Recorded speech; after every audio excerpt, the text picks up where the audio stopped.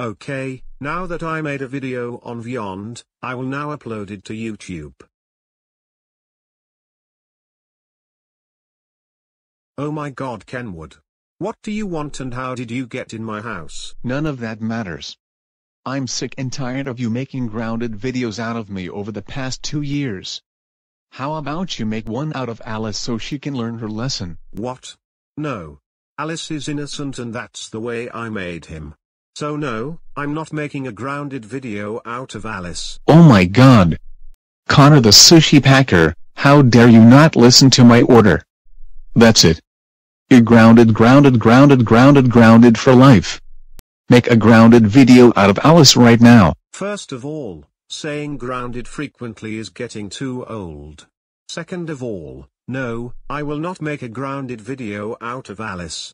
So I'm asking you nicely to get out of my room. Not until you make a grounded video out of Alice. For the last time Kenward, I'm not making a grounded video out of Alice.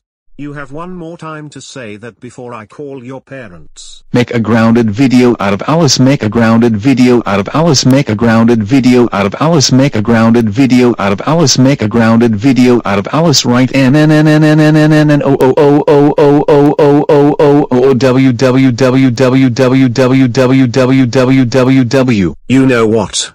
That's it. I've had enough of you. I'm calling your parents right now. Oh. I better run. Hello.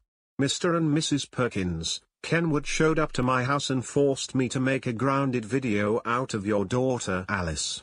Please ground him when he gets home.